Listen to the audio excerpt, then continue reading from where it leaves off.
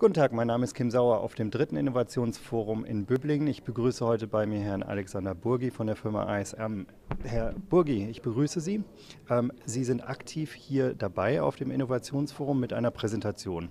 Ähm, können Sie uns kurz darstellen, worum es dabei geht? Gerne.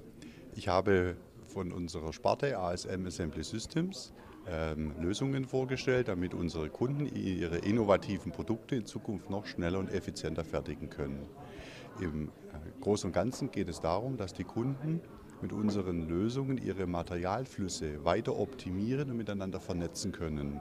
Wir bei Seaplace haben dafür Lösungen im Bereich Rüstvorbereitung und im Bereich zur Senkung der Stillstände an den Linien entwickelt.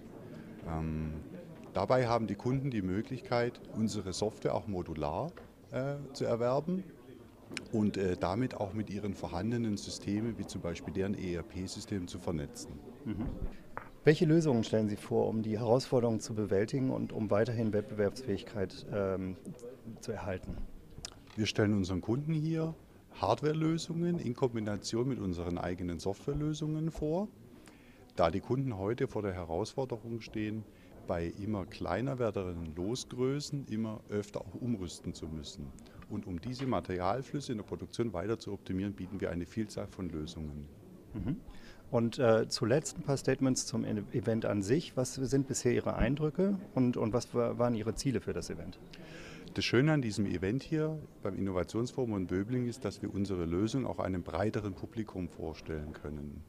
Und wir haben hier zusätzlich die Möglichkeit, uns mit vielen Kunden zu treffen, uns auszutauschen, auch über Innovation von anderen Anbietern zu sprechen. Mhm. Herr Burgi, vielen Dank für Ihre Zeit und weiterhin noch viel Erfolg auf dem Event.